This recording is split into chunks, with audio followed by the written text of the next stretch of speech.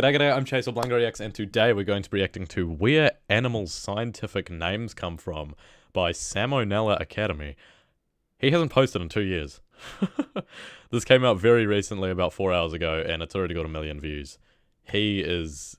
He's back, and it's really weird because, uh, yeah, as I say, hasn't posted in two years. Uh, if you've not seen me before, feel free to subscribe and like this video if you do end up enjoying it, and uh, comment your thoughts on this video. I won't be able to react to it visually because I am actually blind. But yes, Where Animals' Scientific Names Come From by Sam O'Nella Academy. Classic. That's actually quite loud. Ah, hey kids. I just woke up from a nap I took in January of 2020, and boy are my arms tired. Let's see what I- yeah. Hey, kids. kids. I just woke up from a nap I took in January of 2020, and boy are my arms tired. Let's see what I missed. Hmm. Queen's dead, war in Ukraine, the Taliban's back. What what is Holy shit. they made a movie called Scoob. Unprecedented global pandemic, Space Jam 2, some popular guy named Brandon. Yep, that just about covers it. Anyway, we all know about the scientific names of animals, but Well, I'm glad he addressed it because um he could have just gone on like nothing happened, like yeah, you had a massive nap. but yeah, I'm glad he addressed it. I mean, maybe he'll do an update video or something on um, one of his other social medias about why he was gone for so long, but yeah. Popular guy named Brandon. Yep, that just about covers it. Anyway, we all know about the scientific names of animals, but did you ever wonder what they actually mean? To find out, we must look to taxonomists. They're the guys responsible for the systems of nomenclature we use to classify organisms, and boy are they convoluted. First you got the big eight, domain, kingdom, phylum, class, order, family, genus, species. I've seen plenty of new- That is a lot. and you can tell I don't usually record with my light on because my eyes are watering just blind person things. the big eight nomenclature okay. we use to classify organisms, and boy are they convoluted. First you got the big eight, domain, kingdom, phylum, class, order, family, genus, species. I've seen plenty of mnemonic devices for this, but since the D just showed up in the 90s and is still disputed by some scientists, he's usually not included. So allow me to suggest a few. Dizzy kids puke cereal on fairground staff. Dumb kittens pushing cups over feeds growing spite. Donkey Kong's fucking go! serendipitously. The way this whole thing works differs slightly depending on which kingdom uh. you pick. So today we'll be sticking to the animal one, cause that one's the coolest and I'm in it. So what constitutes each taxon is pretty arbitrary. Okay. They basically just serve to act as another set of branches in the tree that taxonomists build. The one exception is species, which is generally defined as any group of animals that can have babies with each other that aren't sterile freaks. Mule, liger, z- that aren't sterile freaks. Any group of animals that can have. I've missed a sense of humor. Although I haven't reacted to many, so if you would like another Sam O'Nella Academy reaction, drop which video you would like me to react to in the comments. Babies with each other that aren't sterile freaks. Mule, Liger, Zedonk, Skunk Ape. They can live fulfilling lives, Skunk but they're all shooting blanks, so they don't count. On the other hand, in our okay. innumerable trespasses against God, we can make things like Chidandanes, which actually work, so dogs are dogs are dogs. Besides species, though, it's the Wild West in here. Plenty of times, eight tiers isn't even enough for scientists, so they just stick new sublevels in between. Legions, cohorts, tribes, series, divisions, and if you want to keep going, you can throw all kinds of prefixes on any of these for even more layers. There's even subspecies, which the more pedantic of you may think to yourselves that creating names for subspecies at all kind of undermines the single somewhat agreed upon definition in the whole tree. To that, my friends taxonomists say, uh. But while that's pretty complex, the actual names themselves are pretty easy to wrap your head around. Though taxonomists may hide behind their fancy Greek and Latin, the Vulgate is no substitute for wit. Now, I've scraped through the scientific names of a load of species, and most of them can be split into a few categories. The simplest ones are the animals that already have names in Greek or Latin. It's a lion, I'm calling it Leo. Done. Tiger, it's a tigris. Cat, it's a catus. Easy. Multi-word names can be translated the same way. For the golden eagle, we got Aquila chrysaetos. Gold eagle eagle. They decided to be a show off and do eagle in Greek and Latin. Essentially the same though. But if a species is too specific or exotic for a one-to-one translation, that's when you gotta get a little creative. A lot of the time, inspiration comes from just giving the creature the old once over and pointing out some cool looking body part. Generally, the more distinctive an identifying feature. You gotta like wonder how he comes up with these topics. Eh? It's so specific and like very unique uh, to do a video on. So I'm yeah, I wonder how his mind works. to like, and this is the video he comes back with after like a two year break. It's very um, interesting. The old once over and pointing out some cool looking body part. Generally, the more distinct of an identifying feature it is, the more likely it'll get in the name. For example, Homeboy took one look at this thing and said, Yup, Red triangle slug. I'm going on break. We call this thing a fucking unicorn, almost like that means one horn or something. Also, some guy deadass looked at an octopus and said, well, all they got is heads and feet. I'ma call them headfoot. And now biologists everywhere say cephalopod unironically. Matter of fact, if it's got feet, chances are that's part of its name somewhere. You got 4 feet, 6 feet, 8 feet, 10 feet, 2 feet, equal feet, both feet, double feet, stomach feet, lip feet, sucker feet, wing feet, big feet, what is going feet, on? feet, both feet, joint feet, no feet, 10,000 feet, going on? feet, spade feet, cat feet, small feet. If it doesn't look that interesting, another thing to... I don't know what just happened. He just busted. He just started vibing, bro. 10,000 feet, cow's feet, spade feet, cat feet, small feet. If it doesn't look that interesting, another thing to point out is where you found it. This could be a territory like American bear or Siamese crocodile, or just a habitat like woods macaque or toilet rat. But that's boring. We need to look at the men behind the magic and what drives and motivates them. Now, if there's one thing that the scientific community loves, it's clout. And there's no better way to go down in history than plastering your own name on some shit you found. But not all fields have the same volume of things to scribble the old John Hancock over. Sorry, my mate just messaged me. some shit you found. But not all fields have the same volume of things to scribble the old John Hancock over. On the one end, you got physicists just making up their own slightly different form of ionizing radiation measurement. And even then, only the top dogs got away with it. Now, zoology, any little goober flouncing through the underbrush can say, this one has 13 spots, but the one in the book's only got 11. I will call him Splinkus's ladybird. Alternatively, plenty of biologists have given shoutouts. He sound like um Carl Wheezer from Jimmy Neutron.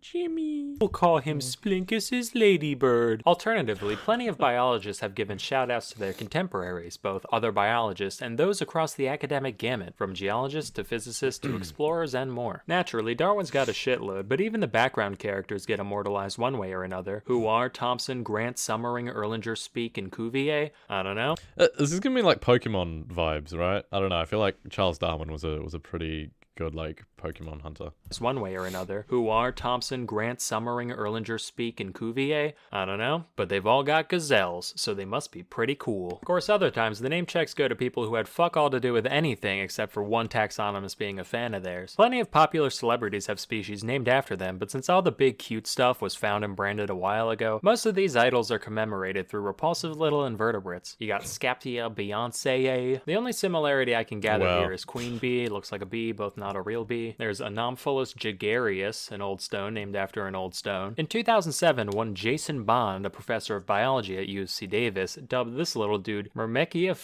Neil Youngie to honor his favorite musician, which caused my man Stephen Colbert to go on TV and profess his utter indignation at not having a spider named after himself. So naturally, Bruh. the next year, Bond actually went on the Colbert Report to announce the naming of Aptostichus Stephen Colbert. So, if that gives any of you epic biologists out there any ideas, you know, I wouldn't be opposed. Please, I would do anything. For the love of God, I'll even take a lichen. The world of politics is by no means immune to this phenomenon. Obama. I mean, that would be pretty cool, right? Having a literal species named after you, like that would be pretty cool. But again, are they going to remember the animal more or your name? Like, I don't think.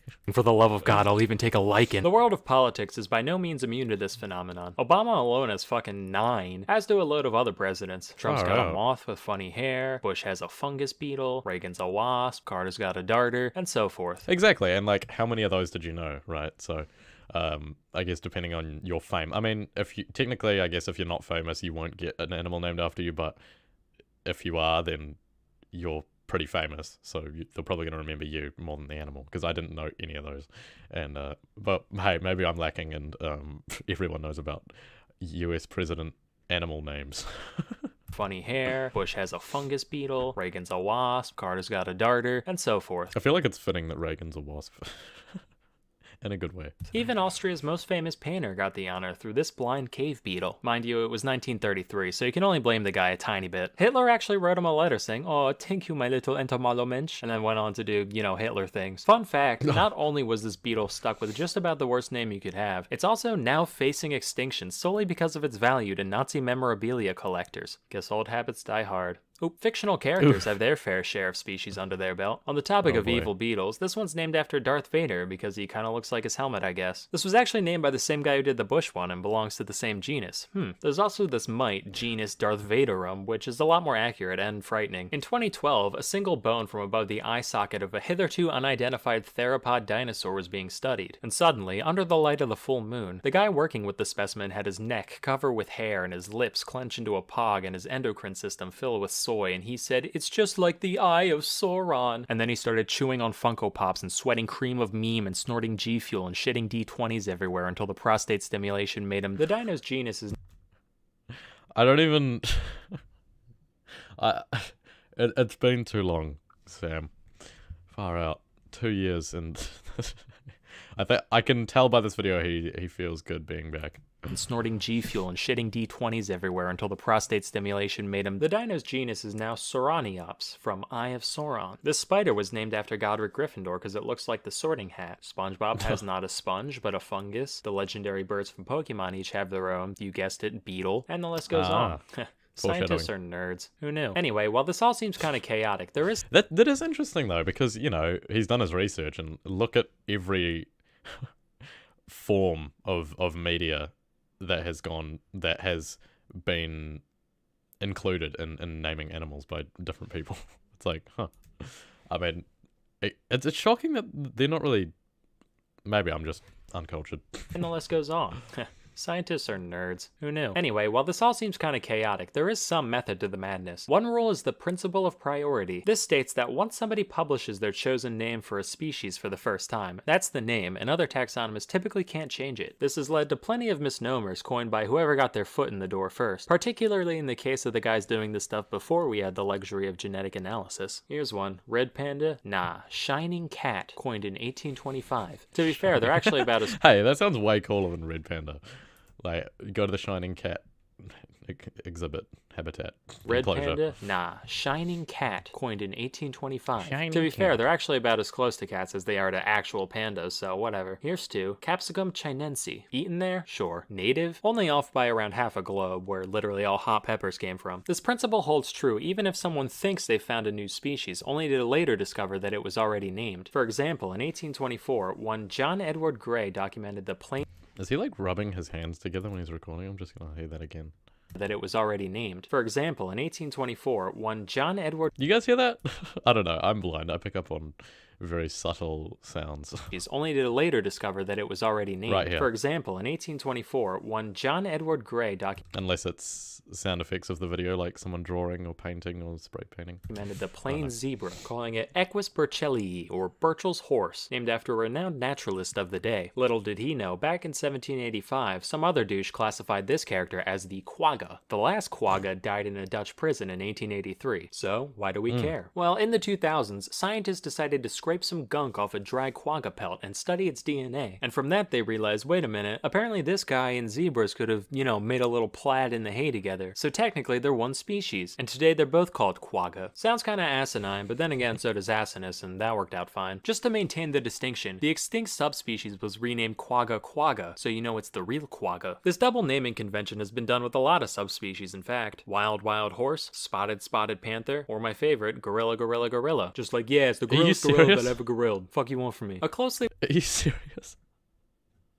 I mean, I guess if there's a name you love a lot, uh, that, but that's so that that either seems like really desperate or like really uncreative. My favorite, Gorilla Gorilla Gorilla. Just like, yeah, it's the gorillest gorilla that ever gorilled. Fuck you want from me. A closely related rule also states that the names of all taxa have to be unique. So if two people coincidentally name any taxa on the same thing, the older one gets to stay and the new one gets the boot. Like if you saw a genus called Echidna, you'd think it was, you know, an echidna, right? Well, no, that'd make too much sense. For a while it was true, from 1797 to 1811. Then it was pointed out that someone else already called a genus of moray eels Echidna back in 1788. So the real echidna had to be changed to Tachyglossus, or quick tongue. Then a decade later, a dude did the same thing for a genus of vipers. Another 22 years passed, people discovered the same thing, and they were renamed to Bitis, cause they bit us. That one at least made a bit of sense, given that the original echidna from Greek mythology was half lady, half snake, but who cares at this point. Anyway, I've just barely scraped the surface of all the goofy names out there, so feel free to post more down below. That's all I've got for now. Till next time, I'm Sam O'Nella, and I'll see you in 2025.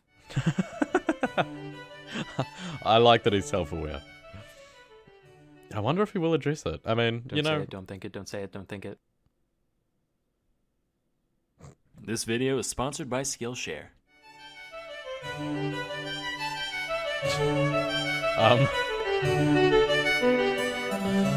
hey kids, time to alienate 23.9% of the United States from my potential audience, because today we're talking popes. Okay, well, I think it just went on to another video. Anyway, that was. I'm going to remember the name. Where Animal Scientific Names Come From by Sam O'Nella Academy. Thank you very much for watching. Um, this was different. I haven't reacted to Sam O'Nella in quite some time, um, but I feel like I had to because this is the first video he's posted in like two years.